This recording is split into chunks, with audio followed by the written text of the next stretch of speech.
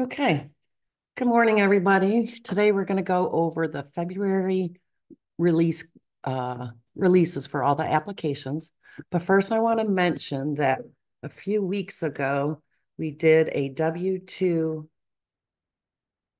and 1099 correction Fridays with fiscal.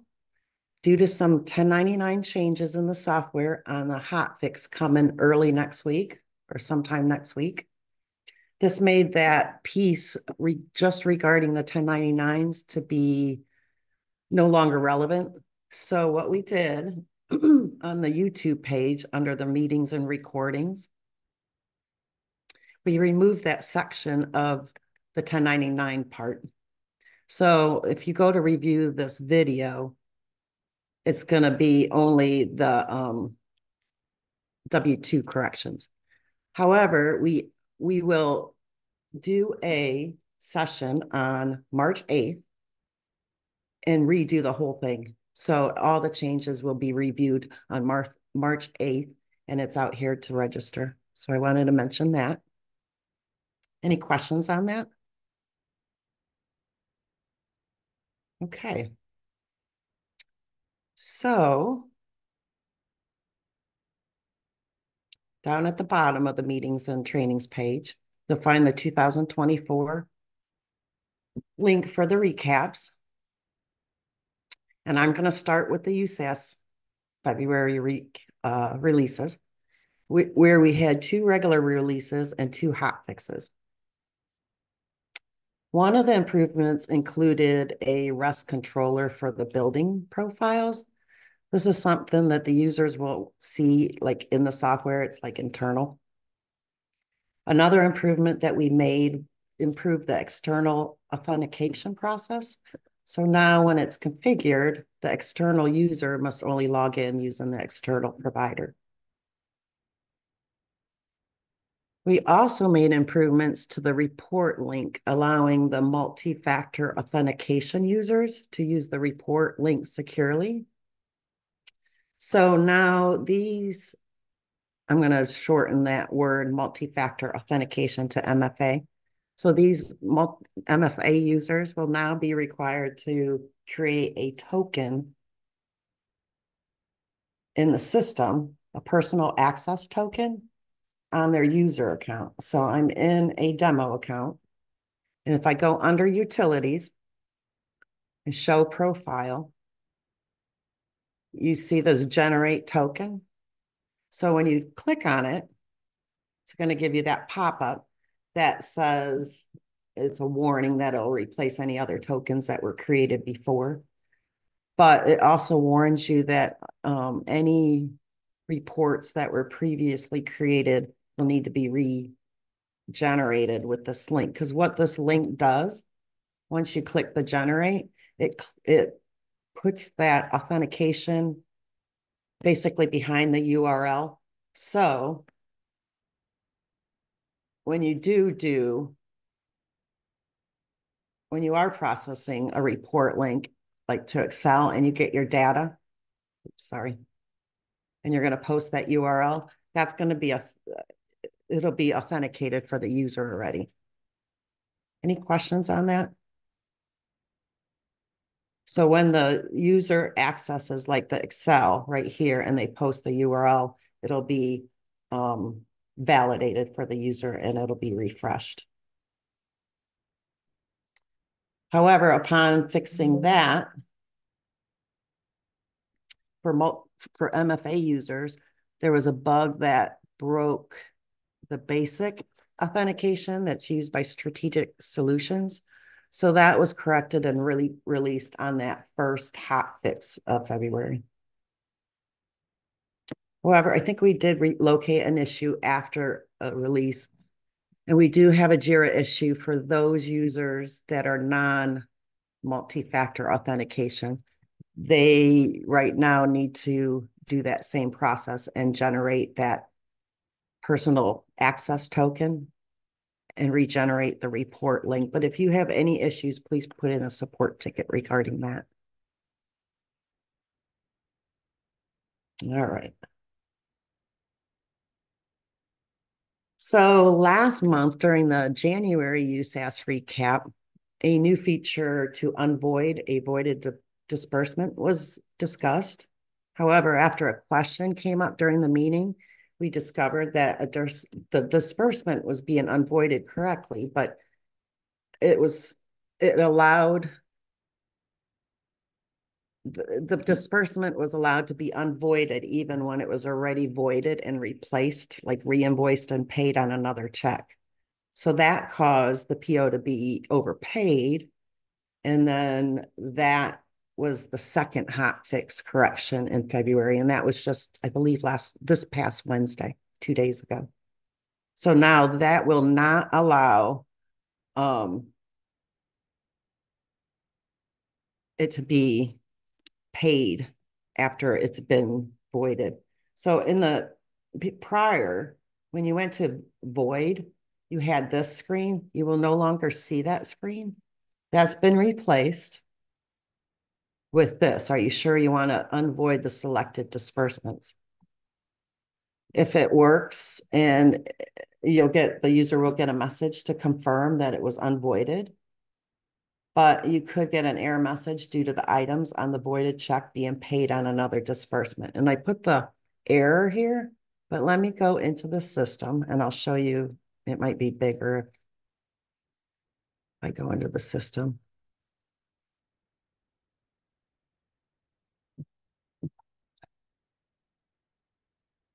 So I'm going to try to,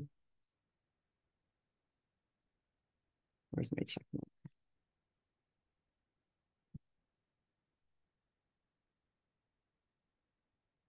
Okay, so this check is outstanding, but I'm going to void it.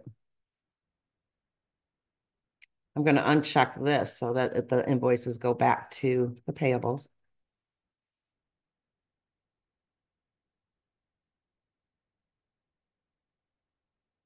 So if I pay this now, I will no longer be able to um, unvoid that check because it's already been paid. And I'll go back to that. Oops.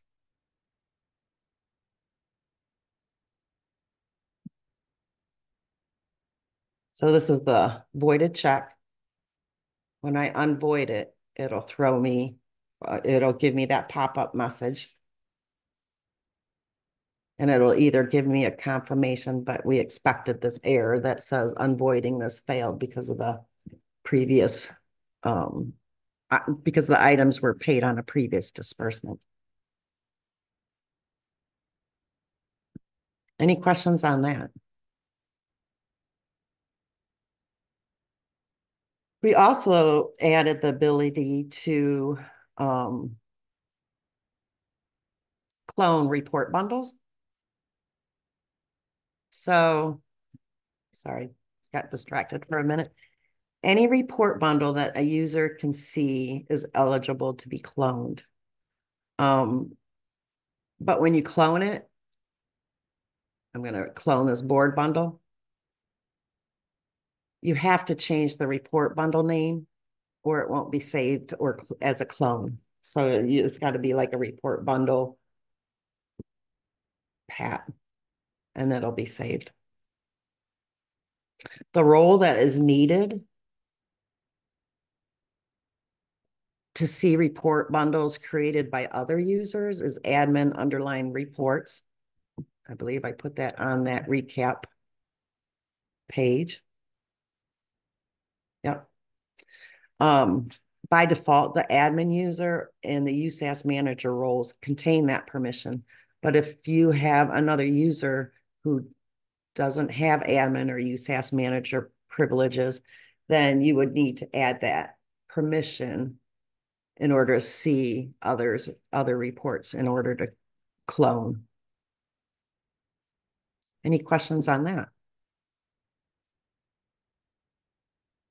And then we implemented a requisition approval report that shows all the requisitions currently in the workflow process.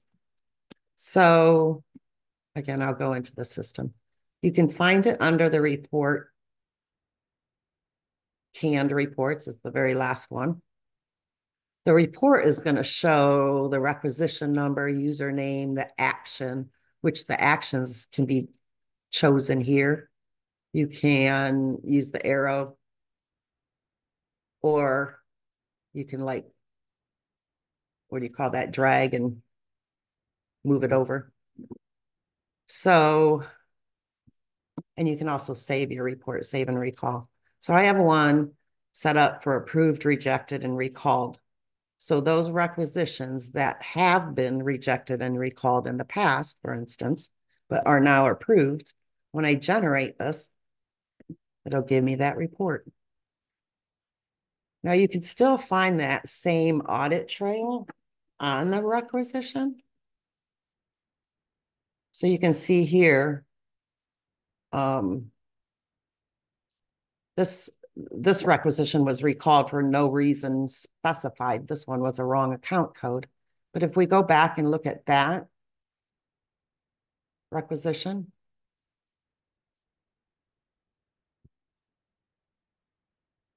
I'll show you, besides that report, it's just pulling from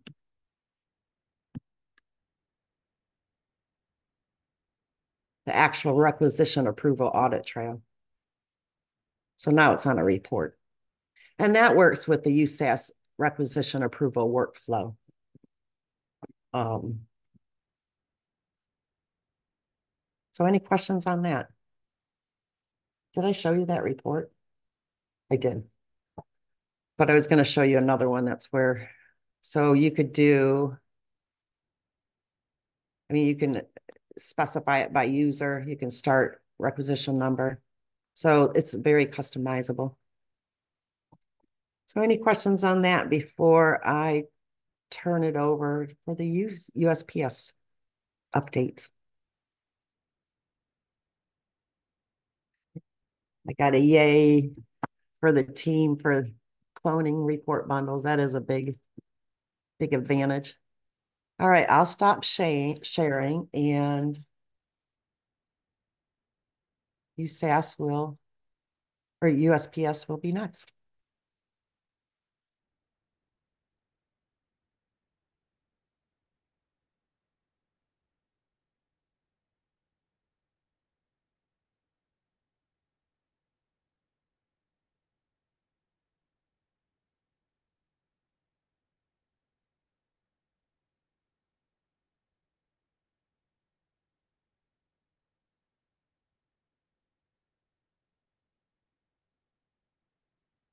I'm not sure if it's Andrea or Lori that's up next.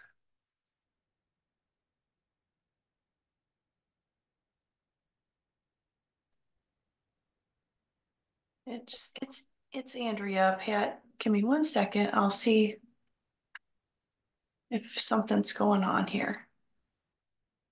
Um, can you still see my screen?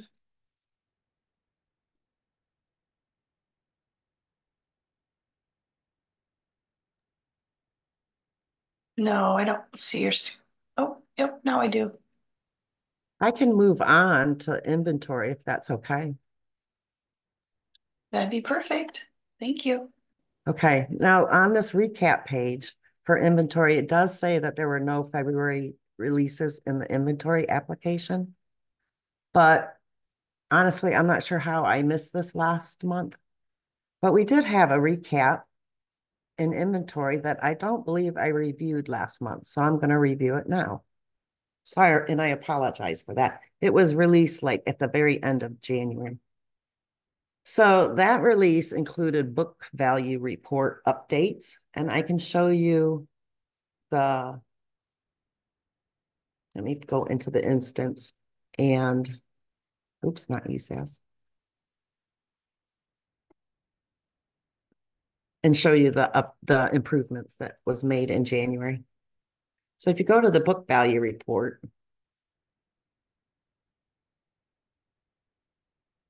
we did add when you sort by the amount selection.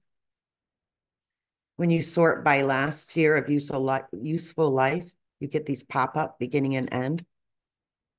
Same with um, percent of depreciation, beginning percent, ending. And then the remaining life has a beginning and ending date added. When you do all, as it defaults, it has no, no date parameters there. And then the other one, I believe, it was the location. I'm sorry, I'm back on February. Yeah, the location code sorting option was corrected. Um, so now it's gonna sort by category first and then by number.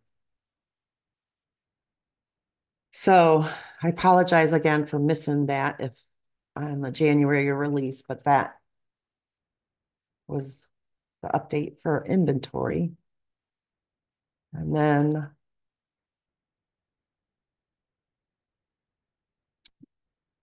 if USPS is ready.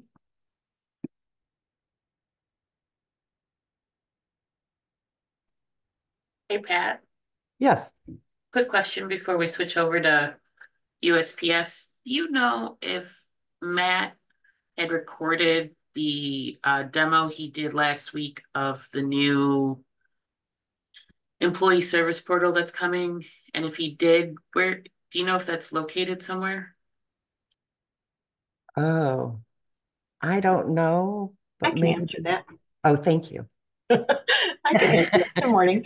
Um, yes, um, the recording is, is, uh, ready to go. I'm just, um, waiting on Matt to see where he wants that to be posted. I'm not sure if we're gonna put it in the wiki somewhere or on our registration page. So, um, once we do, I'll probably just send out a, an email message to you guys to let you know. Great, thanks, Michelle. I thought I'd just slip that in there while you get between your transition quick. No problem. Thank you. Um, is, I don't see where Andrea's been. She says she's on the wait in, uh, waiting room, but I don't see her. And I have her try it again.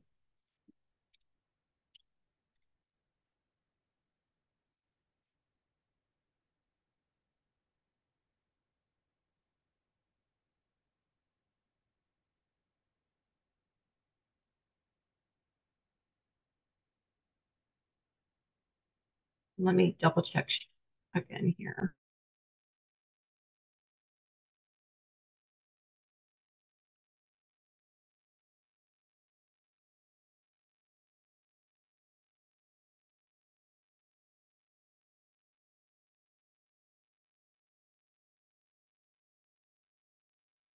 Okay, there we go.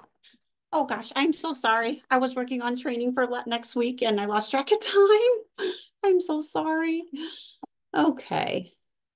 Um, let me share my screen. And okay. And Get that to where I need to be. Okay, all right. Um, we'll be going over the USPS releases um, for February. Um, the first ones will be um, the bug fixes, which I'm going to go through the blue one and the red ones um, down here at in improvements because those were um, improvements and then they had uh, bug fixes that were not right. Um, the first one was the employee onboarding um, the time, the set time zone, um, when the district was adding in an employee, they realized that, uh, the dates were changing once they did the complete task and looked at the compensation.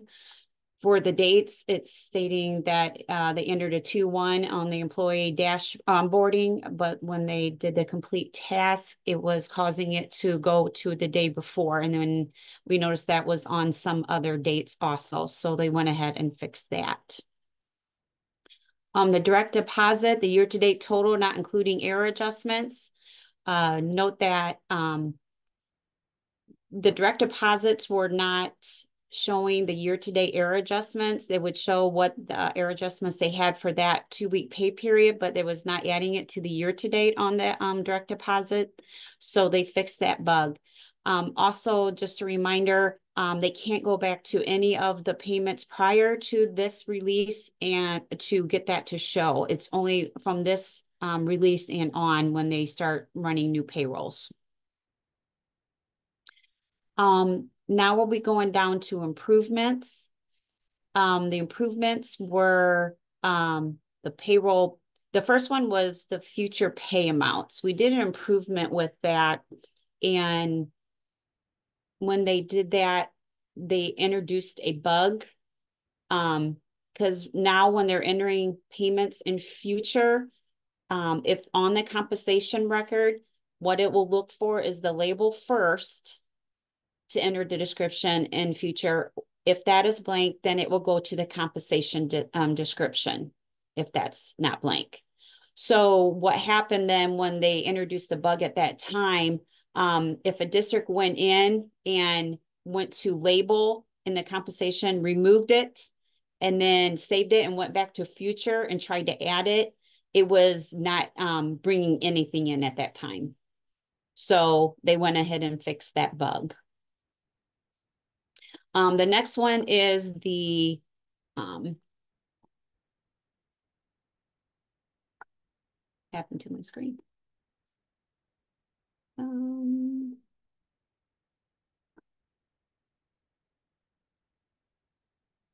Happened to it. There it is. Sorry about that. Lost it. Um, next thing on the salary notice, they add the option to process a pay group. So now if you go to salary notices,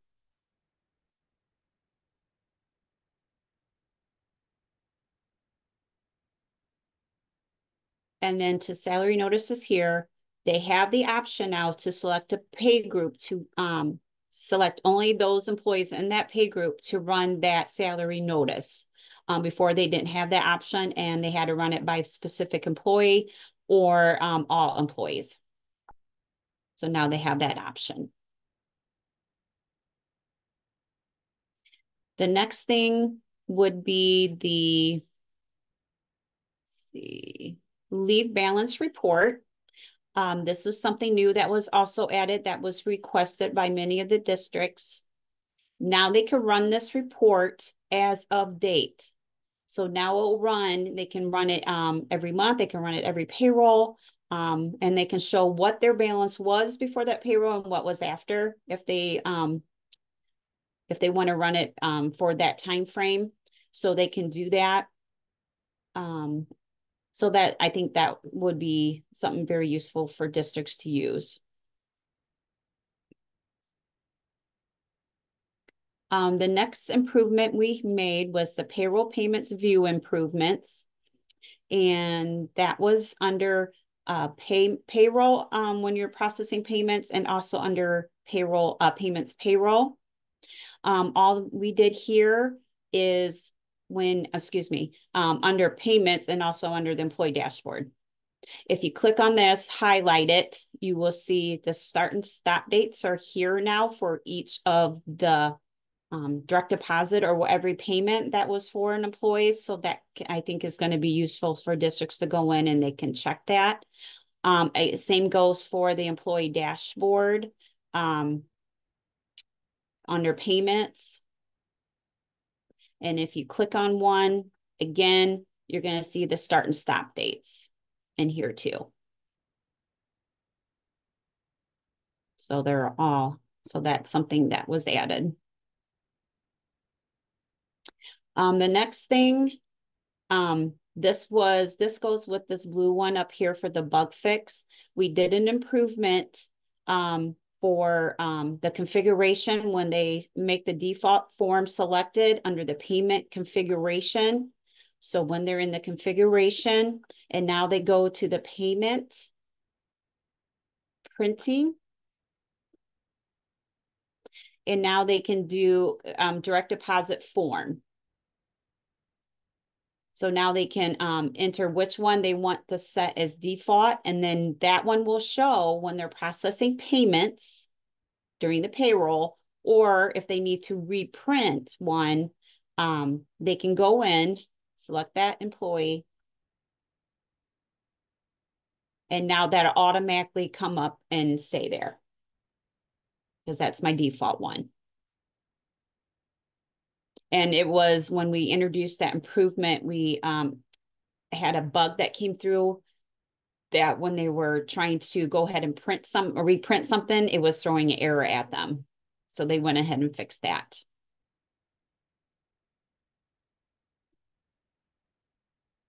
The next thing was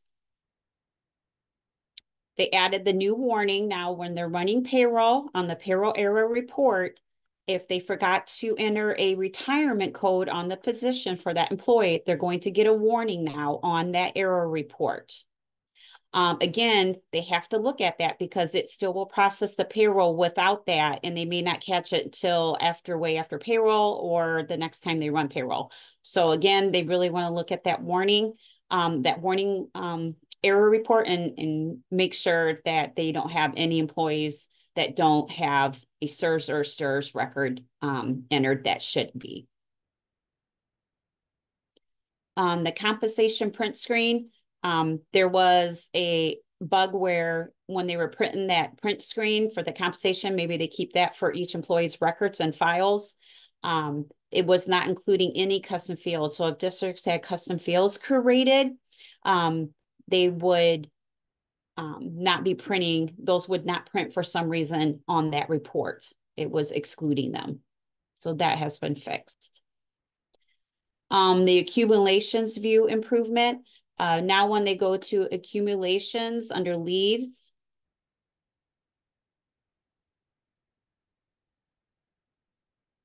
and go here. So now when they create one, they have that new option to close right away, or if they have 10 employees that they have to add or 10 um, separate um, lines they need to add, now they can just continue going on and they don't have to click out and then create and click out. So I think that's going to be very useful. The and the next thing is the position selected filtered. Um, they now, when you go in and select an employee, so I'll use my Brent Hurst as my um, example. If you go to the employee and you want to say, well, I need to add a vacation accrual for this employee, this employee has four different um, positions that have eligibility for different uh, leave for personal. One has vacation, may one may have um, sick.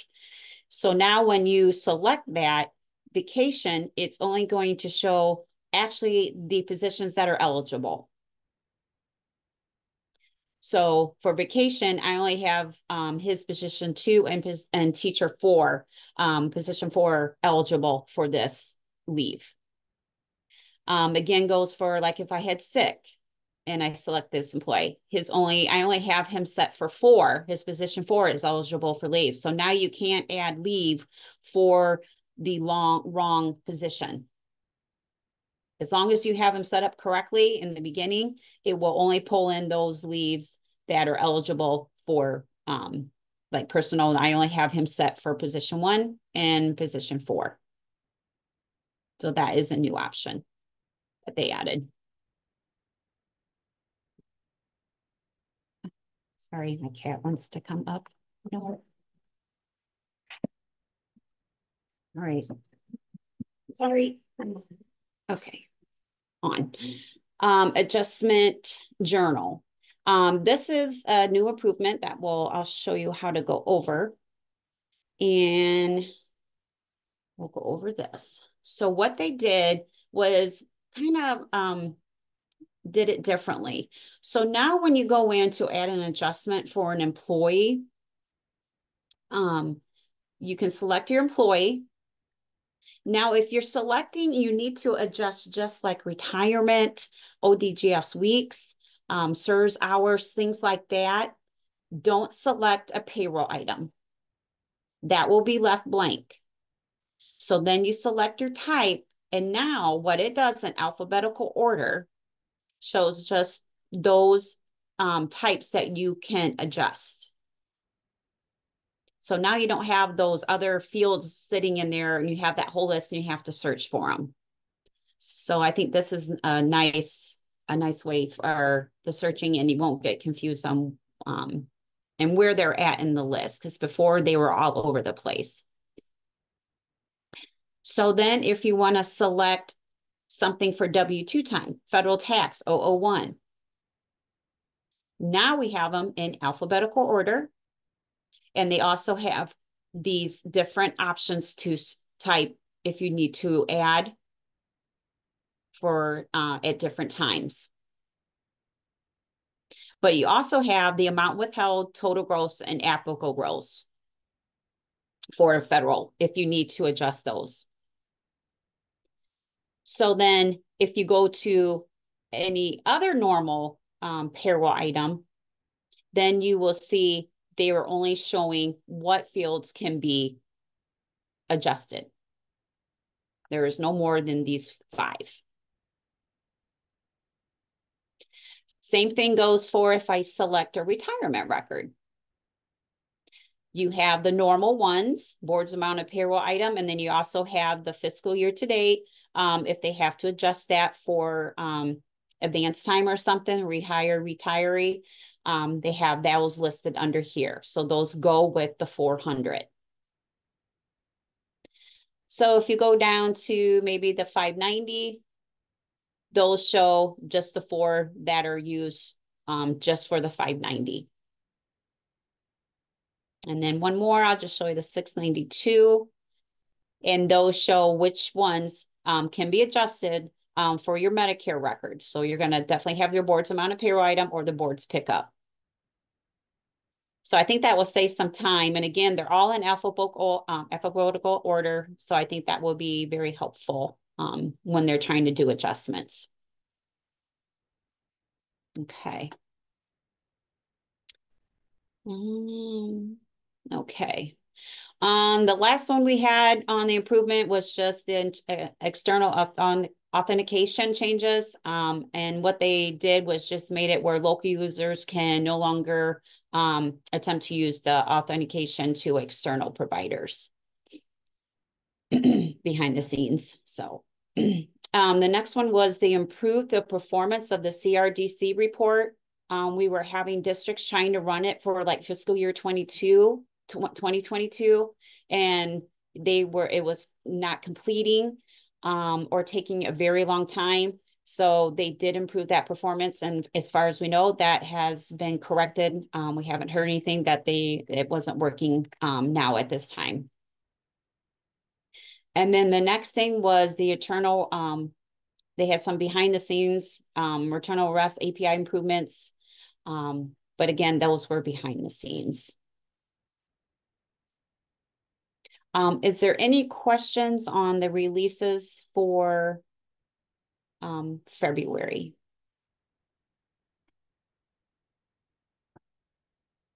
Okay. Um, if there isn't any other questions, I'll, I'll let it over to um, Michelle. I think Andrea, we're we're good. Um, Pat covered the inventory uh, information already, so I think we're we're all set for the for the day. Um, okay. Um, everyone, thank you for attending. Um, like I said, once I hear from Matt in regards to that ESS video recording that he did on the 21st, I will let everybody know. So um, we appreciate and guys have a good weekend. Thank you. Have a good day.